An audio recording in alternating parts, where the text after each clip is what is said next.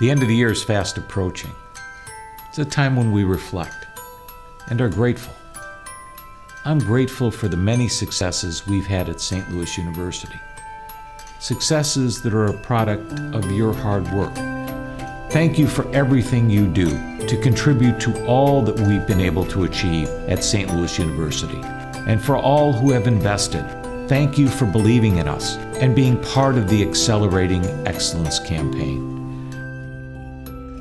This time of year, Fran and I tend to spend more time in our living room. We gather here with family and friends around the tree.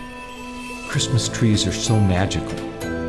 That telltale evergreen smell, the twinkling lights, the nostalgia they invoke.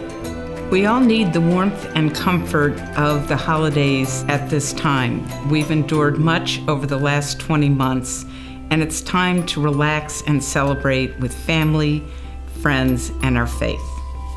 To our graduate students and our undergraduate students, to our faculty, staff, and administrative colleagues, to members of the Jesuit community, to our partners and our donors, and to our essential healthcare workers at SLU Care, our grounds and building maintenance crews, the DPS and student development and ITS staff. From our North Campus, our South Campus, the law school and our Madrid campus, and to our alumni around the world.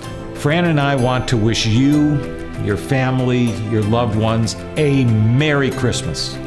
And a very happy new year, and let's hope for even better days in 2022.